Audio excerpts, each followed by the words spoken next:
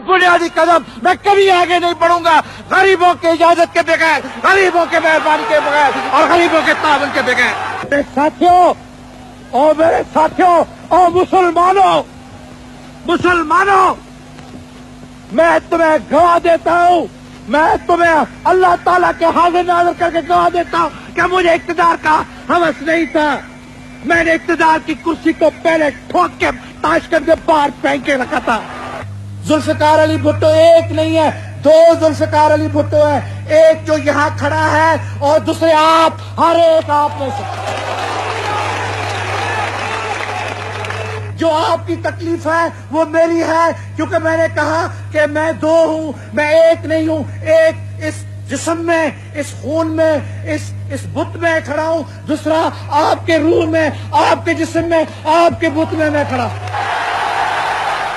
मैंने इनकलाबी तब्दीली लाई है इस मुल्क मैंने मुल्क में अवाम के जहन में तब्दीली लाई। मैं खुद जिम्मेदार हूँ। मैं जानता हूँ कि किस हद तक मैंने किसानों और मुजाहरों और हारियों के जहनीत में तब्दीली लाई। ये इस बहुत बड़ी फतह है। इस, और भी अगर इसलाहत ना होते ये भी बहुत ही बड़ी बात है अवाम मजदूरों के सिर्फ़ मैं अवाम की पैदाइश हूँ। अवाम की ताकत ने मुझे मंजिल पर पहुँचाया है। मैं आवाम से दूर कैसे हो सकता हूँ? आवाम और मेरे दरमियान में अगर हाँ अगर मछली पानी के बाहर रह सकती है, खुशबू फूल से जुदा हो सकता है तो जुल्फिकार अली भुट्टो अवाम से दूर हो सकता है। आज मैं बड़ी जुरत से, बड़ी जुरत से ये ऐलान करता हूँ कि मैं ये ऐलान करता हूँ कि कानूनी तरीके से सदारी निज़ाम को खात्मा आज हो रहा है।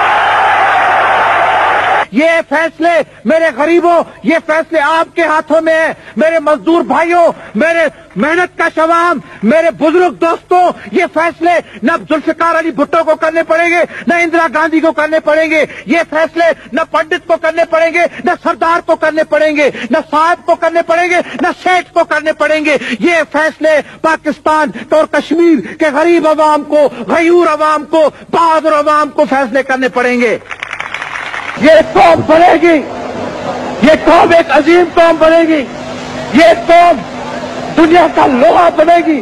कबूल है आपको, इस कौम को दुनिया का लोहा बना के करेंगे। तो खिदमत करोगे, मेहनत करोगे, लड़ोगे, मरोगे, और ज़बरदस्त करोगे, ईमान से करोगे, खुदा की कसम करोगे। Legalize everything that has been illegal till 14th or 15th of December 1971. I will not be a party to it. We will fight. We will go back and fight. My country hearkens for me. Why should I waste my time here in the Security Council? I will not be a party to the ignominious surrender of part of my country. You can take your Security Council. Here you are. I'm going.